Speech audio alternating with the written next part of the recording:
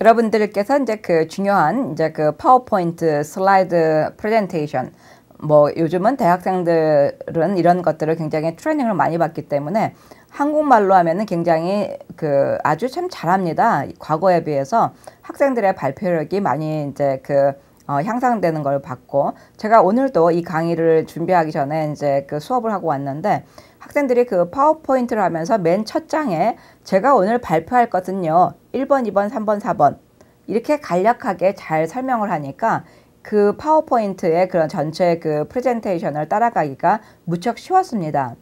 영어도 마찬가지로 여러분들께서 그 어, 슬라이드를 만들면은 맨 첫 번째 어떤 그런 목차 같은 거 어젠다나 이런 것들을 만들어서 첫 번째는 뭐고요, 두 번째는 뭐고요, 어떻게 진행할 것입니다 라고 주면 여러분들의 그런 그 청중들은 여러분들의 프레젠테이션을 따라가기가 무척 쉽습니다. 자, 그런 그 flow, 어떤 그런 그 자연스러운 연결 상태를 만들 수 있는 그런 그 표현입니다.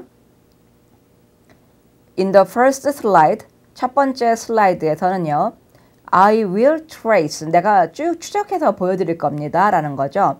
How we have developed item E. 이제 아이템 E에 대한 어떤 그 설명인가 봐요. I will trace예요. 내가 이제 쭉 과거로부터 쭉 거슬러 올라갈 겁니다. How we have developed item E. item E, item E. item, item 이렇게 발음이 약간 좀그 어, 약화됩니다. 그 다음에는 첫 번째 in the first slide 그 다음에는 after that 두 번째를 next보다는 after that I will discuss what we have to do to promote this item in the market. 그 다음에 두 번째 주제는요, 프로모션에 대한 거죠. 그래서 여러분들은 그 discuss 다음에 about 쓰지 않는 거는 잘 아시죠? I will discuss what we have to do to promote this item in the market. Now let's begin. 자 이제 시작하겠습니다. 라고 이렇게 시, 어, 어떤 그런 그 시그널을 주는 거죠. 그래서 첫 번째는 두 번째는 이제는 시작하겠다. 이런 그런 표현을 한번 해보겠습니다. In the first slide, I will trace how we have developed item E. After that, I will discuss what we have to do to promote this item in the market. Now, let's begin. 한 번 더 해보겠습니다. In the first slide, 여러분들이 제스처라든지 아이 컨택은 굉장히 그 중요한 거죠.